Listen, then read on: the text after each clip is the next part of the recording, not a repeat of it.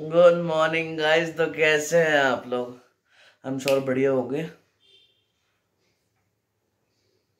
कल हम गए थे भाई कृष्णा भाई के बर्थडे पे और आज हम जा रहे हैं ड्राइविंग टेस्ट पे फिर से, क्योंकि पिछला वाला फेल हो गया था तो कहीं होता है तो मैं अप्रोच तो आएगी फिर। तो दोबारा जाना है।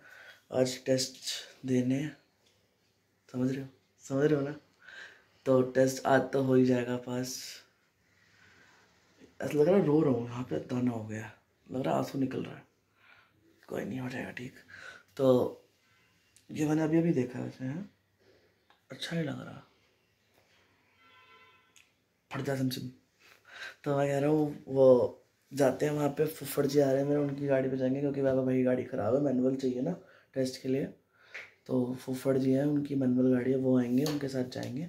और एक भाई हमारे और जाएँगे हमारे साथ, जो लाइसेंस बनवा देंगे। अच्छे बंदे, वो लाइसेंस तो बनवा ही देंगे। समझ रहे समझ रहे हो ना? चलो फटाफट, नहाते हैं, फिर आपसे मिलते हैं।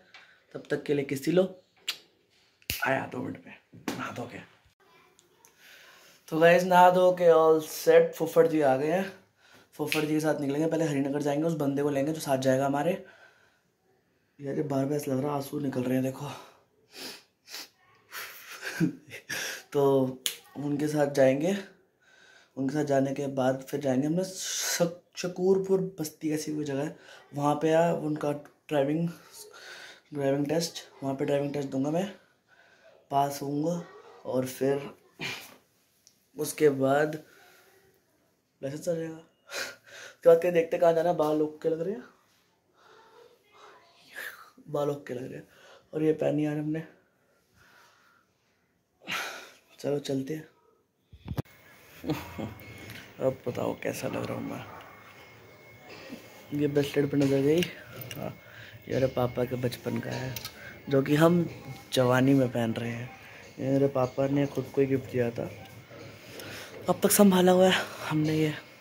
एक चेन भी थी, वो तो गुम गई। बस ये पड़ा है मेरे पास अब।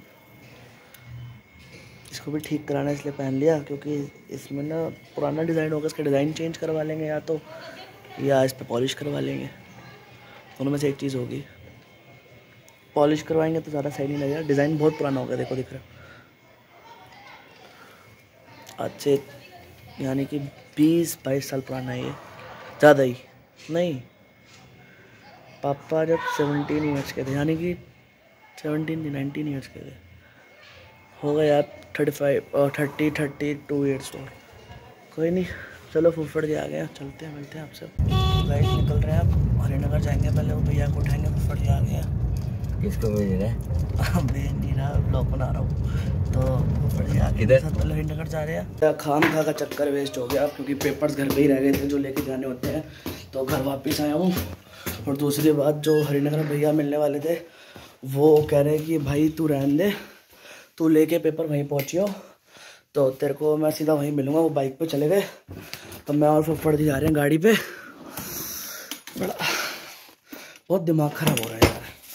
सच्ची में उतना दिमाग ख़राब कभी नहीं हुआ किसी चीज़ को लेकर गाइस यहाँ पे पहुँच गए ये हमारे पेपर्स आज फिर से टेस्ट देंगे हम। जैसे पहले दिया था इस बार पास हो ही जाएँगे। सौ परसेंट है ही श्योरिटी बाकी देखते हैं।